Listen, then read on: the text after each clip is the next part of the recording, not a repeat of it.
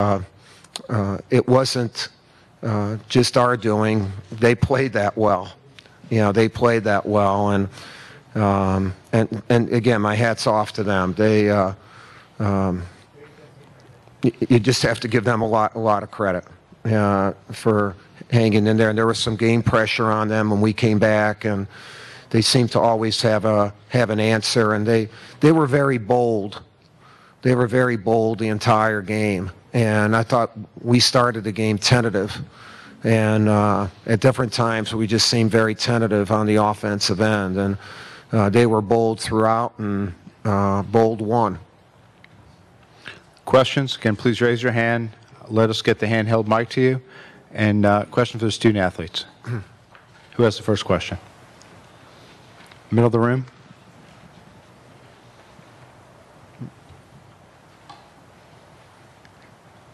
Any questions for Mason or Miles? First one right here in the front. Wait for the microphone, please. Uh, what was the most difficult part of facing Lehigh in the tournament? I mean, I just assume you guys didn't know like a lot about them going into it. From I don't know, what was like the hardest part about taking them or challenging them? Mason. Um, well, we knew about them. Um, we watched a lot of film. Um, we knew they were a good team. Um, we just, um, McCollum really led them and played well. Um, if he wasn't scoring himself, he was helping other people get open. We didn't guard the ball screen very well, and he got a lot of stuff off of that. But it wasn't a, a matter of we didn't know them. We had plenty of preparation um, we took care of that that end of it.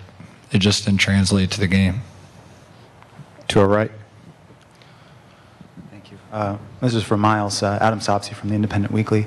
Miles, I know this is your last game. It's a disappointing way to go out, obviously, but if you were, uh, if you were to meet a freshman coming into Duke, or maybe you already have, uh, what would you tell him about the things that he can expect being a, a Duke basketball player?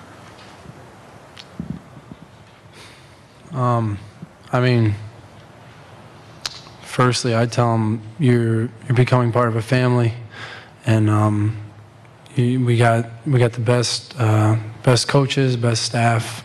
I mean, just best everything, and you got to make the most of it. You got to bond with your teammates. Um, then you become your brothers on the court, and um, just never let anyone down, and you're gonna have a great time. But tonight like tonight, you know, it's tough.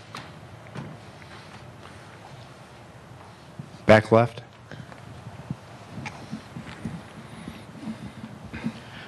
Tom Welburn, WBFT. Uh, Miles had the opportunity to watch you now for the last last several years. Is uh, I know it's a disappointment tonight, but you look back upon your your careers. It's just too soon to, to just think about everything that you and your teammates have accomplished over your tenure at Duke. Yeah, um, I've been a part of some amazing teams and had some amazing accomplishments, but you know, people remember you for how you leave, and this isn't how I wanted to leave. Any other questions for student athletes? To our left on the aisle. Coach talked about you being tentative at the beginning. Can you, as a player, talk about what that, what was going on at the beginning? What was you feeling like? Why do you think you were tentative, if that's what you felt like? Mason. I don't have an explanation. Um, we should have addressed it. We should have gotten on one another, but um, for whatever reason, we couldn't we couldn't get in sync um, offensively in particular. It's just not good when you aren't working together and um, you aren't in sync. It's hard to beat a good team, and um, they were together and they played well tonight. Middle of the room. Coach mentioned how, how tough Lehigh played on defense. Can you just talk about some of the things they were doing to you guys to make things obviously difficult for you out there? Miles. I mean, they just played tough, hard-nosed defense. Um, they were denying the post, denying the passing lanes, um, playing physical, crashing the boards. Um, I mean, that's what you expect. You know, a lot of us have been through this before, and that's what every team brings in the tournament. And uh, I mean, we needed to match that from the get-go. Mason. Yeah, um, like Miles said, obviously they had a week to prepare, as did we. And um, I think their game plan was to, to take away our outside shooting, um, really get in on our guards, and um, they really uh, plugged in the lane well. Anyone else for Mason or Miles? I think there's a question in the back of the room.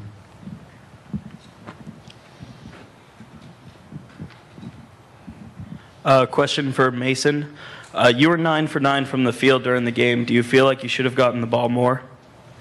No, um, if I didn't get the ball, that was on me. Um, Tyler, Tyler, and other guys were looking for me.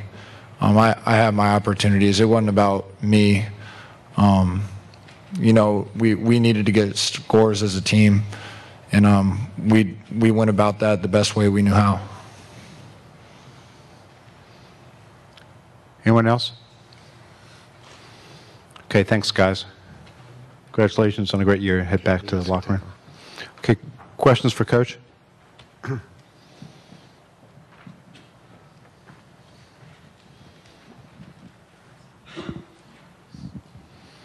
Coach Mark James, CBS Radio, WFNZ in Charlotte. You look back at, at this loss, I know the emotions coming off this loss, but do you think, looking over your 37 years coaching, this might be the toughest loss in your career? Well, For me, i- i- the next loss is the toughest. So this is the next one. You know, the, the worst loss I've ever had as a coach was with our national team and the World Championships in 2006 to Greece, because that was for my country, and you don't get too many of them. Um, although that's the only loss we've had. Yeah. Uh, so for me, you know, my program, it, you're on a continuum. You know, there are four years that we ended up with a win. You know, in my 37 years. It's not football where you have a bowl game and 35 people end up with a win out of 100. Um, so when that loss comes and how it's inflicted, you you just take responsibility for it. I I think overall my team did a great job this year, but we did not do a, real good job this last week and a half. And so that's upsetting, you know, because no matter what happens, injury or whatever, you you should you know you you're responsible for trying to figure out a way that your team can play well, and so that's on me. But uh, um, yeah, it's tough to.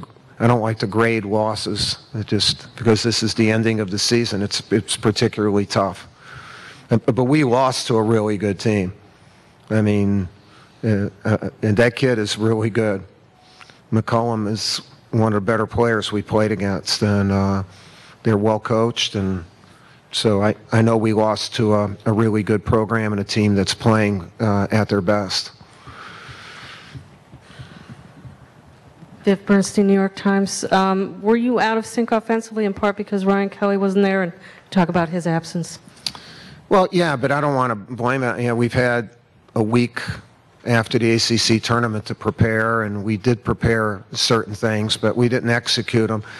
You know, at this time of the year, you you should be as instinctive as possible.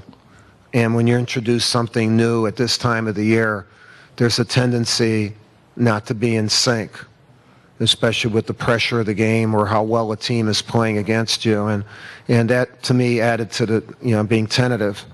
And, you know, you can be, you can flow real easy in practice uh, with some of the new things, but it, it, there's just all, you know, it's a, it's a different ball game, you know, when you're actually out there. And that's just, that go, goes with the game, though. I mean, you know, that's part of the game. We just were not, like, instinctive. We, there were spurts that we had, but the last three ball games, you know, we've been just kind of mucking it out and uh, offensively, and it, it, again tonight.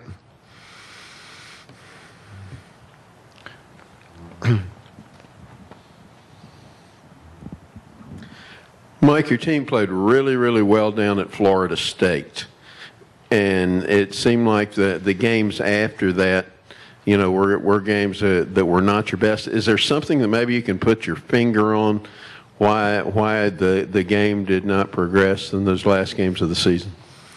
No, we played well in, in other games or in spurts of games, or else we wouldn't have won we would have lost all the games. You know, but uh, uh, you know, we you know we have not shot well for about three weeks, and we weren't shooting well when Ryan was in, and then when he went out, then we you know we continued not to shoot well, and. Um, you know, we're not this, you know, we're not, a, you know, we're, we're not a juggernaut or anything like that. We've known that, you know, throughout the whole season. You have to do it uh, pretty precise and, uh, you know, we just didn't play well offensively the last few weeks of the season. Actually, we got better defensively, but uh, offensively, you know, we just weren't there.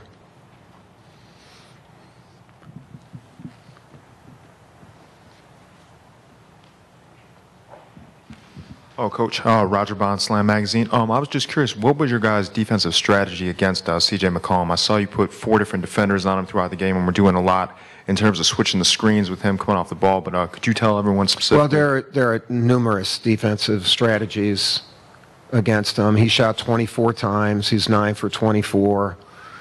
You know, we wanted him to be a volume shooter, but not foul him.